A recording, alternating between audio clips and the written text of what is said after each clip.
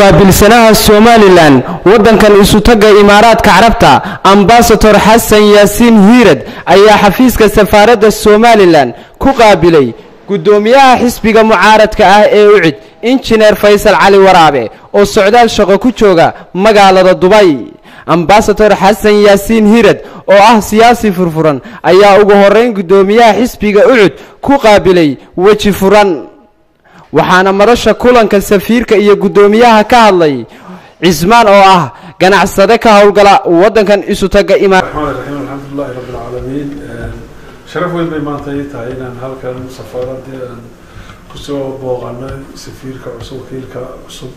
Inagu safiiru baanu dhahay laakiin de inaga safiir bu inooya laakiin xagga officially waa wakiil iyo guddoomiye faysal faysal sidaa dee laga dhawaashiyey waa runtii nin ku santan wanaaga iyo horumarka dalka. Aad baan ugu faraxsanahay maanta inaan halkan isugu wada nimaano safaaradani waa tii ugu horreysay de imaaraadka inooga furantay imikubaysay official u furantay. Runtii aada iyo aad baan ugu baahnayn. Safaaradina gebigeeduba laba shaqun bay qabataa. Labada shaqay qabato mid waxa weeyaan cilaaqaadka waddankeeda iyo waddanka ay joogtay si ay u wanaajiso iyo dadkeeda jaaliyadeeda meesha joogta inay u shaqeyso. Waxaan xasuustaa beri halkan dhowr statekii ahayd ee safaaradda soomaalida halka joogta waxay odhan jirtay wiigii laba cishana dadka u shaqeyna afarta cishana dowladdan u shaqeyna cabdiraxmaan tuulo safiraa la soo bedelo markaasuu markuu arkay dadkii oo dhan basburan maxaa markaasay yidhahdeen dee laba cishana dowladdan u shaqey laba cishana dadka. Waladan waxaa u joogtaa waa dadka. Lix toddoba dadka u sida oo kale waxaa hadalka qaatay safiirka somalilan ambasador xasan yaasiin hirad waxaa runtii maanta sharaf weyn noo ah. Raggii ugu waaweynaa qarankeena jamhuuriyadda somalilan guddoomiye faysal cali inuu maanta halkan inagu soo booqday. Raggii muftaaxa safaaradda furay buu ka mid ahaa.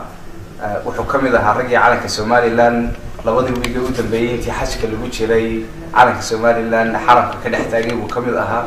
Waa nin taariikhda somalilan meel wanaagsan kaga jira. Waa nin nabadoon ah oo meel kastoo khilaaf ka jiro guddida ugu horreysa loo diraa injineer faysal kow buu ka yahay waanan runtii aada iyo aad baan ugu faraxsannahay imaatinkiisa. Annagana sharaf bay noo tahay. Waa raggan ku ugu dambayna guddoomiyaha xisbiga ucud ayaa ka hadlay sidii loogu soo dhoweeyey waddanka sacuudi arabiya. Mar kalena u mahadnaqay safiirka somalilan ambasador hiirad doorta waa aad ba mahadsan yahay wakiilku.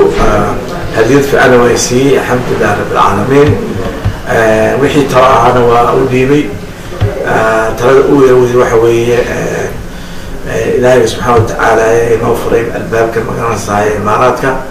Oo ku xigsiyen hadda waxaa ka yimi sacuudigii waxaa maanta aad aad ku bishaareynaya inuu maanta sacuudigii uu khaasa siiya madaxweyne ku-xigeenkeeni oo hadda hawada ku jiraan. Markiisa ka degayaan alxamdulilah rabbi caalamiin. Waxaana hadda socotaa international mataqaana ka socotaa bulshada caalamka arrinta somaliland yaa laga doonaya ala ictiraaf ala ictiraafaa socota markaa waqti fiican buu la soo kulmayn halkan waa very potential. Dana badan baa naga xiran.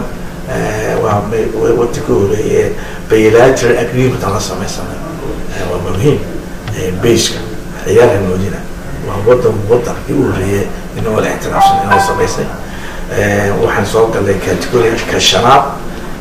Wadamada invest garaysato imaaraadka adduunka kii shanaad bay noqonay. Aan ka soo galnay marka dhalinyarana keenay insha allahu tacaala waxaan jecelnahay inuu kabiga keeno midha keeno. Inta la sheekaysan hadda waxay tusay nin majuuna magaalada da-da maaha.